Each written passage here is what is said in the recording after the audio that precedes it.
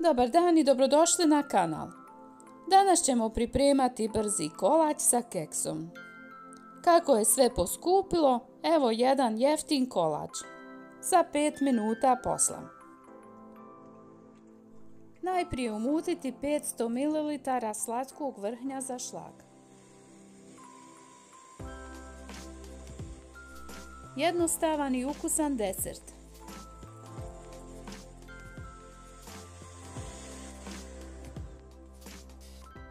Pripremite i 200 g keksa.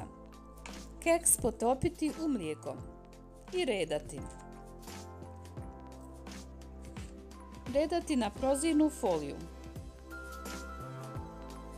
5 redova po 3 keksa.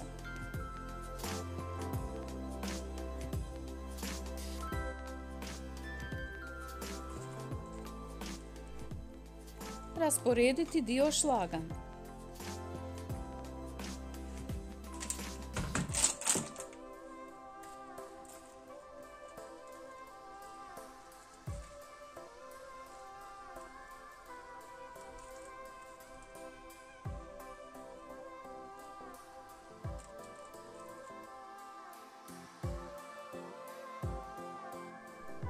Pratite postupak.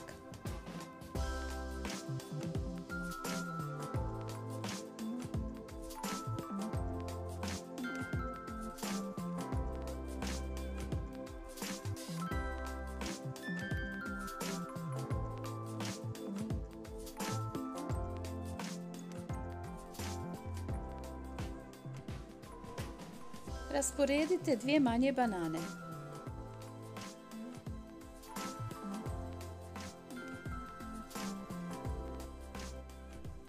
Prekriti šlagom.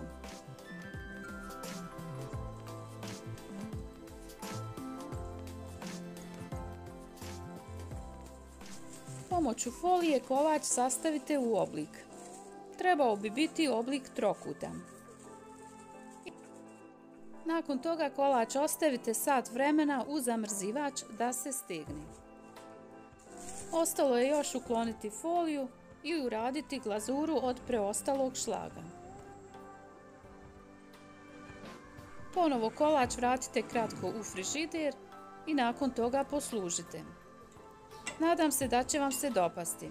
Hvala na gledanju, lajku, komentarima i pretplati na kanal.